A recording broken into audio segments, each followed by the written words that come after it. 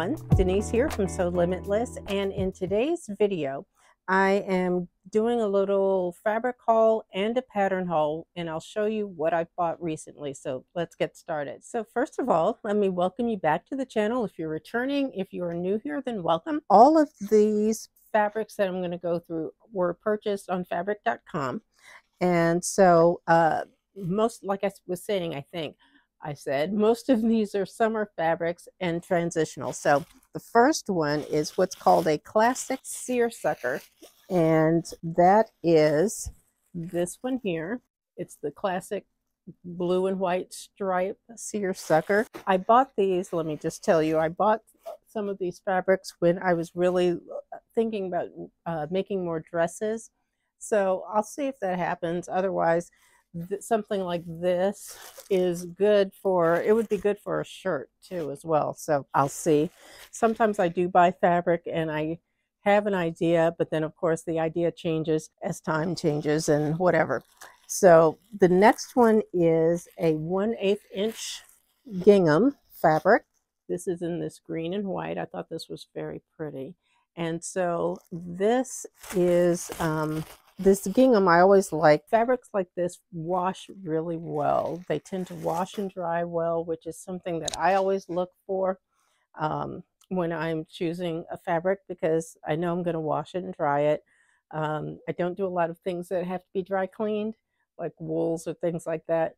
So most of the fabrics that I do have, and I always pre-wash them anyway, so that's one of the things that I look at. So that's always something to consider when you're purchasing your fabric. The next thing that I have on my list here is called a brush, Brussels washer and it is a linen blend. It's just in black here. Uh, I bought this one because I had just finished my black dress. Um, there's a previous video that maybe I can do a link to uh, so you can see that if you haven't seen it already. But I really loved working with that fabric and wearing it. So this one is a little bit different, but it is a linen and rayon blend, so it should wash well as well. I would probably make some pants, maybe uh, like a slightly wide leg pant or something like that. I don't think I need another black linen dress. So that was the idea behind purchasing that one. The next one is this gabardine suiting and this one is a solid. It's solid black. This one, it's polyester and the thought with buying that one is I would like to actually make myself a suit. I haven't done that in a very long time. And so I think that would be good. Uh, you know, it would just be a matter of what patterns I would use and if I would do a jacket and pants, most likely, um, I think I would really like to have something like that. So that was the idea behind that particular fabric. So um, that's it for the fabrics. Now let's go and I will show you the uh, patterns that I purchased. Now, as far as the patterns are concerned, all of the patterns that I'm going to show you, they're, they are all Style Arc patterns. They had a Christmas in July sale, so I went ahead and purchased some patterns. I have used their patterns before and I really like them. I don't have to do a lot of adjustment. I just like the style and um, just really nice, easy to wear types of things. So uh, the first one here is the Esme Designer Knit Top right here. And this one is obviously it's for knit fabrics, but I'm figuring that this, this these patterns I purchased with the idea of uh, more transitional into the fall season. So it's still, we're about to have another heat wave when I'm recording this. So, um, but with the patterns, I was thinking more fall transition type pieces. So something like this could be worn under a jacket. And then of course you do have the long sleeve uh, and the high collar there. So that one, that was the one of them that I purchased. Next was Meg Raglan Tee. And the interesting thing about this one, one of the reasons I bought this is because it is a woven. It's for woven fabrics. And I do love to make t-shirts. That's one of the things that I do a lot of. But I have not done one with a for a woven or with a woven fabric before. So I thought that would be kind of fun and interesting. And I do like the style. It's, like I said, it's a raglan tee. It's got a little bit of a side vent here and a high-low hem. So that was one that I thought would be a good one to add. Next is the Avery tunic top. And this one is for woven or knit fabrics. And one of the reasons I bought this one is because right here you have an exposed zipper and that's actually one of the things that I've never done.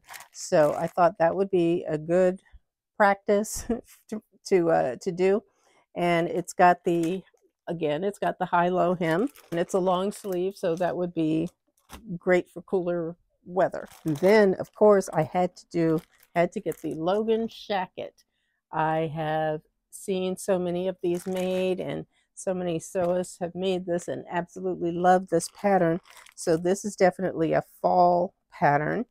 And I think that one would be a good one um, to, to have. So I'm looking forward to that. They offer a free pattern. So you order whatever you would like, but then you also get the option of, it's usually two choices that you have and it changes every month uh, they offer free a free pattern. So for my with my order, the free pattern that I chose was this one. It's called the Olivia dress. And this one is for woven fabrics. So I thought it was kind of cute. And um, yeah, why not? Now, when I work with Style Arc uh, patterns, and like I said, I, I have several of their patterns that I've made before, because I do trace them. Now, for me, that makes it much easier if I want to, if I have to do any fit adjustments, it's easier if the pattern is traced.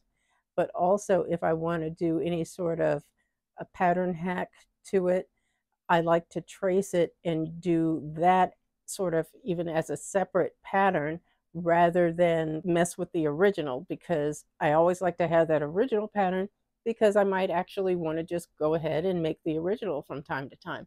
This way, if I want to do a hack on it of whatever type, then I have a pattern that I can do for that. So that is what I will normally do. But that is it for this video. Um, please give this video a thumbs up and subscribe to the channel. Hit the notification bell. And yeah, so I, if you have any questions or comments about anything that you saw, uh, leave it down below. I can leave you some links to the fabrics if they are still available. Uh, these, like I said, were all purchased from fabric.com. Fabric.com is an Amazon company, so I can leave you some, some links to those. Style Arc also has a US store on Amazon. So if I find these patterns there, I can also give you some links to any of these patterns that may be available. But that's it. So I thank you all for watching. Take care, and I will see you in the next video. Bye-bye.